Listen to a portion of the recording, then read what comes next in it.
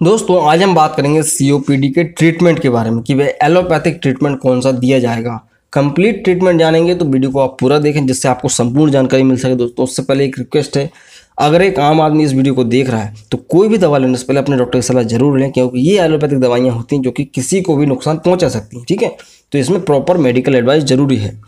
और हम वीडियोज़ बनाते हैं जानकारी पर्पज़ के लिए।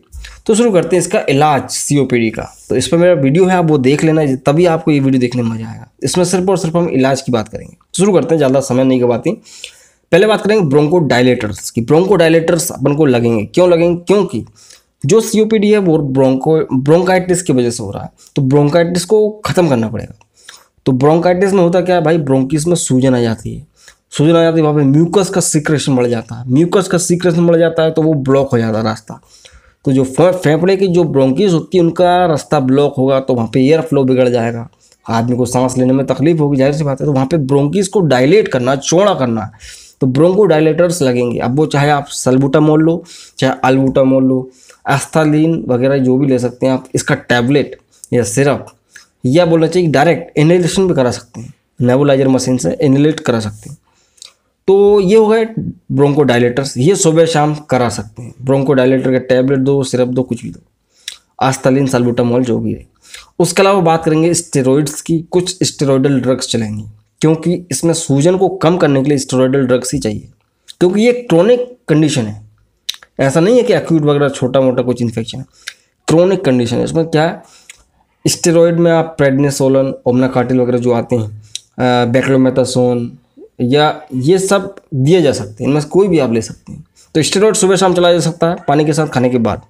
ये स्टेरॉइड्स क्या करते हैं कि भाई जो सूजन है, उसको कम करेगा। जब सूजन कम होगी तो अपने आप ब्रोंकिस डायलेट और अच्छे से होंगे। ठीक है तो सूजन कम होगी तो इससे आदमी को जो जखड़न होती है, ऐसा फील होता है, वो ख़त्म हो जाएगी। उसके अलावा एंटीबायोटिक देना पड़ेगा। क्योंकि जब भी सीओपीडी होगा तो उसके लंग्स में इन्फेक्शन हो जाएगा आदमी के तो वहाँ पे बैक्टीरियल इन्फेक्शन डेवलप होगा। तो बैक्टीरिया के लिए एंटीबायोटिक ड्रग देना पड़ेगा। सेप्रोफ्लॉक्सिसिन एरेथ्रोमाइसिन या एमोक्सिसिलिन इन तीनों में से कोई भी एक 500 मिलीग्राम का टैबलेट सुबह शाम दिया जा सकता है खाने के बाद पानी के साथ। ठीक है? चाहे वो अल्मोक्स ले लो, चाहे वो एरेथ्रोमाइसिन का कोई सा भी ले लो। अगर इंजेक्टेबल की बात की जाए तो सेफ्टा जडाइम सेफ्टा जडाइम ये इंजेक्शन आता है वन ग्राम का। इसको लगा सकते हैं डायरेक्ट नस के अंदर। स्लो लगेगा, बहुत स्लो, सुबह शाम चार से पाँच दिन तक।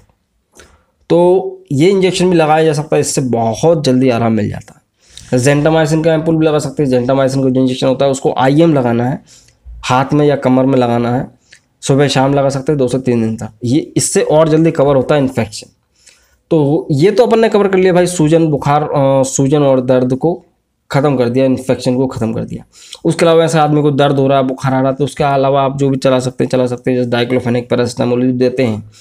एसिडिटी हो रही है, ऐसी लोग दे सकते हैं साथ में। ये सिम्टोमेटिक इलाज होता है, इसके बारे में बात नहीं करूँगा, ठीक है? मेन इलाज क्या होता है, वो बता रहा हूँ मैं आपको। उसके अलावा चाहें तो जो है एक्सपेक्टोरेंट जो दवाइयाँ आती हैं एक्सपेक्टोरेंट मतलब कि जो कफ को बाहर निकालती हैं, वो भी दे सकते हैं। जैसे कि भाई ग्रिलेंटस बी एम सिरप अब ये ग्रीन डस्ट मतलब नहीं है, आप जो भी ले लेना चाहें ले सकते हैं, पर कोई इसका प्रमोशन नहीं कर रहा है। इसके अंदर क्या होता है?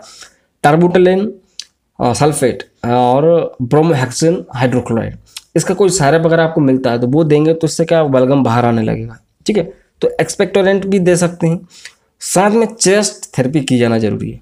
आदमी को बोलना है कि भाई डीप आपको ब्रीदिंग लेना है मतलब गहरी साँसें लेना है, या उसका प्रॉपर एक वेंटिलेशन होना ज़रूरी है मरीज़ का।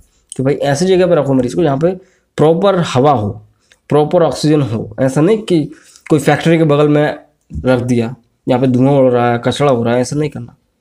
प्रॉपर वेंटिलेशन ज़रूरी है। उसके अलावा आप ऑक्सीजन थेरेपी भी दे सकते हैं। ऑक्सीजन को लगाया जा सकता है। क्योंकि आदमी को क्या है? एक तो उसका एयर फ्लो बिगड़ गया, ऊपर से ऑक्सीजन नहीं मिल पा रही शरीर में। इस वजह से उसको चक्कर, बेचैनी, घबराहट हो रहा है। तो ऑक्सीजन थेरेपी भी देना पड़ेगी। ये सारा का सारा ट्रीटमेंट सात से दस दिन, पंद्रह दिन तक चल सकता है। इससे आदमी को आराम मिल जाएगा, ठीक है? बहुत हद तक आराम मिल जाएगा।